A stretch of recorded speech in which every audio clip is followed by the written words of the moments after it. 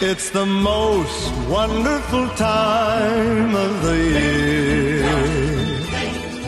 With the kids jingle belling and everyone telling you be of good cheer. It's the most